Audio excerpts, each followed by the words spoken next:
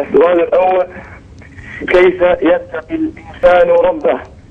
آه، طيب شيخ الأخ أبو حذيفة سؤاله الأول يقول كيف يتقي الإنسان ربه؟ تحقق هذا التقوى يا سؤال شيخ. عريف هذا سؤال عظيم. آه، وهو من آه، أوجب ما ينبغي للمؤمن أن يعتني به.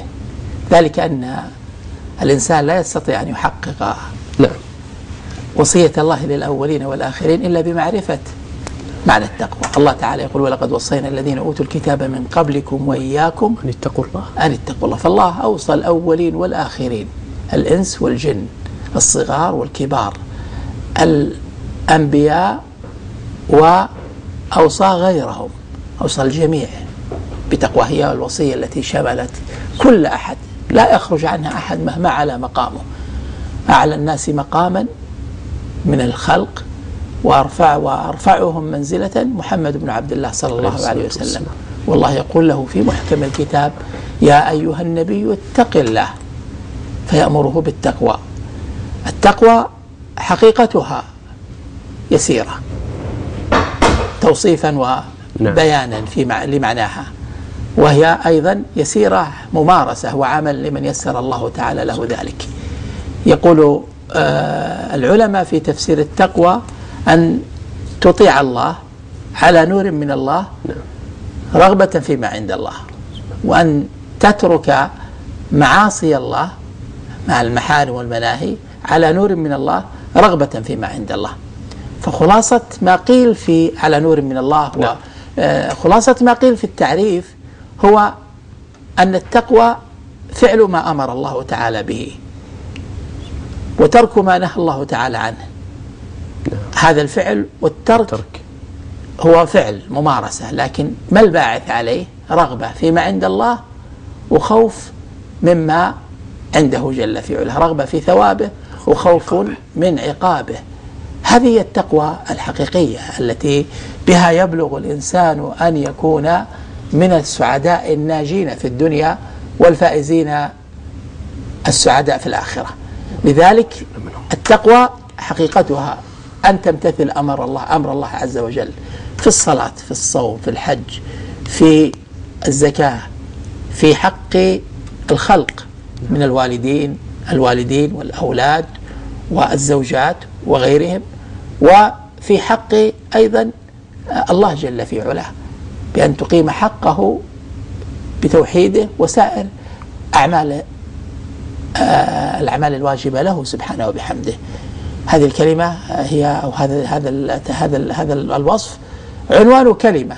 هو لا كلمة لا إله إلا الله اعتقادا وعملا. هذه الكلمة هي كلمة التقوى التي من يسرت له نعم.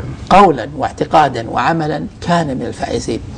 التقوى ليست أمرا صعبا إنما أن يبذل الإنسان جهده في رضا الله جل في علاه بفعل ما أمر به وفي وترك ما نهى عنه راغبا فيما عنده وخائفا مما أعده آه، للعصاة.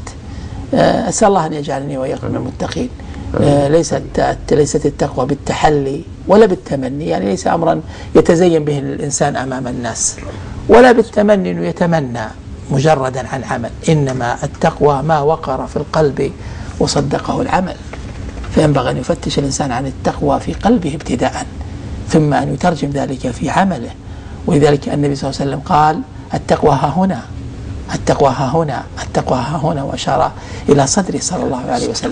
أي التقوى ما عمر به القلب من محبة الله وتعظيمه من خوفه وإجلاله من الرجاء فيما عنده سبحانه وبحمده وسائر ما يتعلق بأعمال القلوب.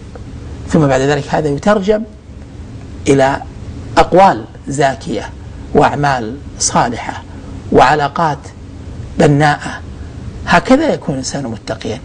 فليس من التقوى أن تقول بلسانك ما لا ليس في قلبك. وما وليس من التقوى أن تزعم الصلاح في جانب ثم تنتهك حقوق الخلق في جانب. فبل هذا هذا اختلال في التقوى ونقص.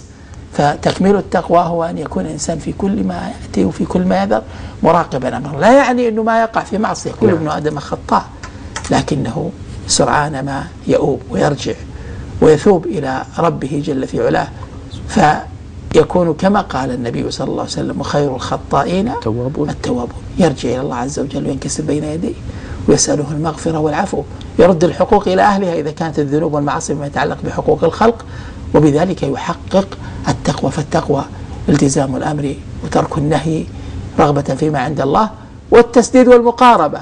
بكثرة التوبة والأوبة والرجوع إلى الله عز وجل في التقصيرين تقصيره فيما أمر به أو تقصيره في ارتكاب ما نهي عنه.